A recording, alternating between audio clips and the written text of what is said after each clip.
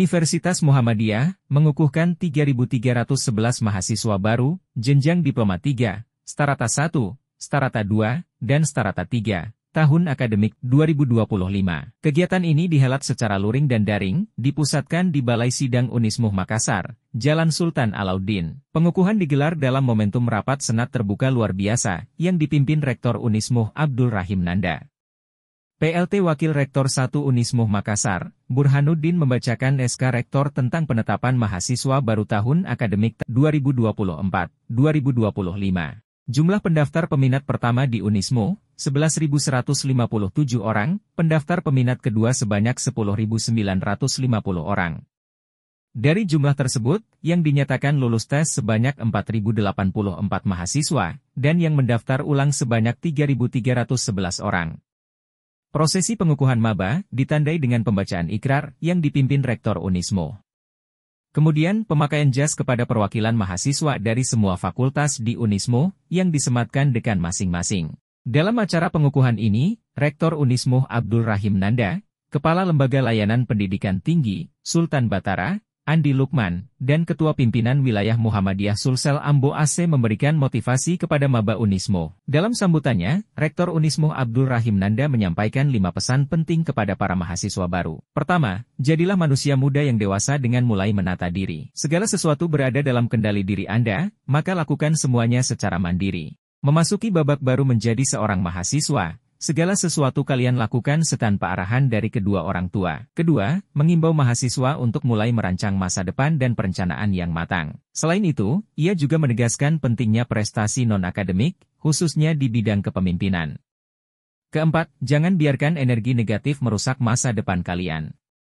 Ia menekankan pentingnya menjaga mental dan semangat selama menjalani masa kuliah. Kelima, Rektor menekankan pentingnya mendekatkan diri kepada Allah, mengingat Unismu adalah kampus islami yang mengusung konsep Green Islamic Futuristik. Selalu jaga spiritualitas dalam kehidupan akademik, tutupnya. Sementara itu, Kepala Ludikti Wilayah 9, Andi Lukman, mengucapkan selamat dan sukses kepada seluruh mahasiswa baru Unismu Makassar atas keberhasilan mereka diterima di perguruan tinggi tersebut.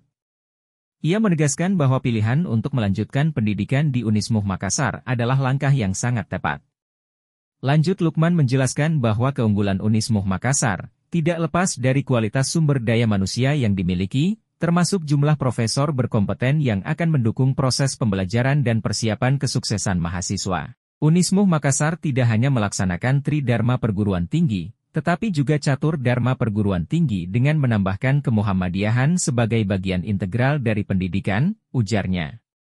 Dalam era transformasi pendidikan saat ini, Andi Lukman menekankan pentingnya mahasiswa untuk memiliki pengetahuan, keterampilan, dan karakter yang baik. Dalam amanahnya, Ketua Pimpinan Wilayah Muhammadiyah Sulsel Ambo AC menekankan bahwa memilih Unismu adalah keputusan yang sangat tepat. Ia mengungkapkan keyakinannya bahwa mahasiswa baru akan menemukan tempat yang tepat untuk berkembang dengan program studi yang telah berstatus unggul. Untuk mencapai kesuksesan, Ambo AC menekankan perlunya perencanaan yang matang, komitmen, dan disiplin. Ia mengingatkan mahasiswa untuk menyelesaikan studi dalam waktu yang singkat dan berdoa kepada Allah untuk kesuksesan.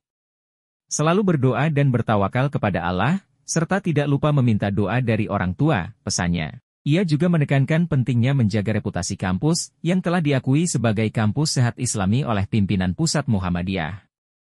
Memiliki tanggung jawab bersama untuk menjaga kampus ini tetap bersih dari narkoba dan sehat.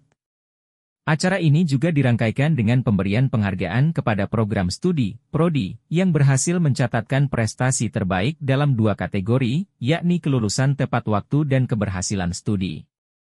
Penghargaan ini diberikan langsung oleh Rektor Unismuh Abdul Rahim Nanda.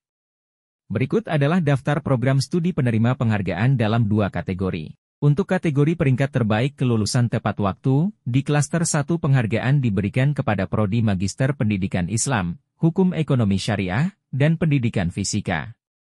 Di klaster 2 penghargaan diterima oleh Pendidikan Agama Islam, Pendidikan Dokter, dan Agribisnis. Sementara di klaster 3, penghargaan diraih oleh Pendidikan Guru Sekolah Dasar, Akuntansi, dan Ilmu Administrasi Negara. Untuk kategori peringkat terbaik keberhasilan studi, di klaster 1, penerima penghargaan adalah Magister Pendidikan Bahasa Inggris, pendidikan guru pendidikan anak usia dini, dan ekonomi Islam. Sedangkan di klaster 2, penghargaan diberikan kepada pendidikan dokter. Dengan pengukuhan ini, mahasiswa baru Unismu Makassar diharapkan siap menjalani masa perkuliahan dan mampu berprestasi baik di bidang akademik maupun non-akademik.